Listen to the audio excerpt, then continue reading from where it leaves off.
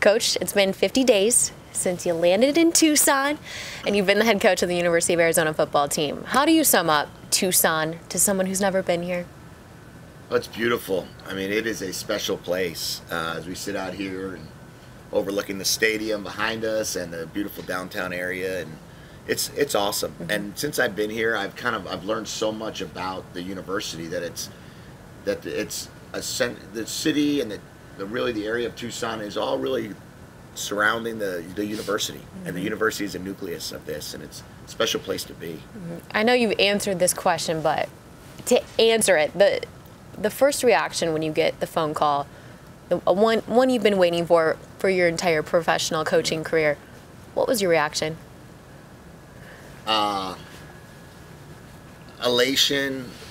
Um, I would say I don't want to use the word relief, but you know, you always feel like, is this going to happen? When will this happen?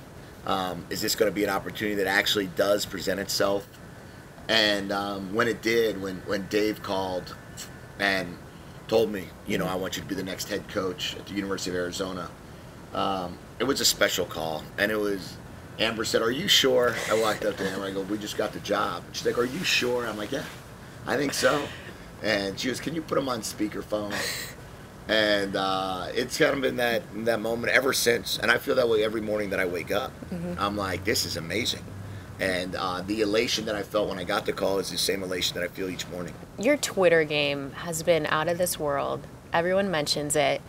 What's been the strategy on social media when it comes to tweeting all the gifts and just being so interactive? Why is that up on your list? You know, it started. Um, the first week uh, when Jimmy Dougherty came to town, and we didn't announce him yet on the staff. And I said, "Hey, let's take a quick picture." And I go, "Well, just take, take a picture, say nothing, but it'll be a picture from Tucson." And you, it started getting some reaction, like, "Is that Coach Dougherty?" or "Where was he at last? Is he now?" Mm-hmm. We knew he was going to join the staff, you know, and make it. And then I was like, "Wait, we have some fun ways to interact." Um, there's really one or two ways that you could release a story, right? You mm-hmm. could release it through the media or you could release it yourself. And as I was going through this process, I was saying, you know what would be cool if we released it. Mm-hmm. You know, if we if we shared with our fan base because they're the people following Arizona football mm-hmm. first, um, and let them know what's happening. And that's kind of how we started playing some games with the gifts and the releases, and then almost telling a story with Twitter on what's happening. You have so many stories that you could just take out of your back pocket when it comes to your coaching career and your college years. Is there a story that sticks out that you love telling? I think the story that I always end up telling mm-hmm. is how it all started. The story that I love telling is, you know, that every move that I made, I was able to learn something from someone else. Mm-hmm. That every decision to pick up our family was not an easy decision. I think sometimes it gets lost in that, oh, he just wanted to move to go somewhere. But there was always a reason behind it. It has always been to learn from someone else, to have one more experience in something different than what I was currently doing, to provide me and my family the opportunity to be sitting here today. Mm-hmm. And um, there were times throughout that it was the most devastating day in the world that we had to pick up and move, not by our choice. Um, there were other times that we had to have the tough discussion with the person that we were working for and tell them that we were moving. Mm-hmm. Uh, but all of it has has worked out in a manner that I'll never say that I haven't learned from the next stop. You've been to the Waste Management Open up in Phoenix. The entire coaching staff has toured campus. Um, you've done a lot in the first 50 days. What was first to check off your list when you got here? The goal was to try to connect with as many people as we could. Um, within the first week, I was able to go uh, to Coach Miller's office, mm-hmm. go spend some time with Sean, to connect with our football alumni. Mm-hmm. That's been a huge part.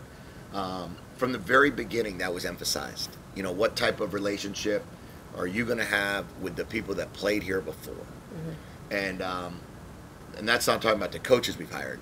That's talking about the guys that aren't in Tucson right now, mm-hmm. or that um, are really a part of that still want to be a part of this program. And then there's a fundraising aspect to this job, where you have to really try to make sure that we try to keep our facilities up to par. We want to try to give our players the best opportunities they mm-hmm. can, retain coaches, And then the final part of it is the coaching, which is, as we all know, the most important part because that's the part that we have to make sure that we get right. One of the maybe the most daunting tasks hiring an entire staff to help lead a, a, football program with you, something you haven't done yet, but you've been a part of.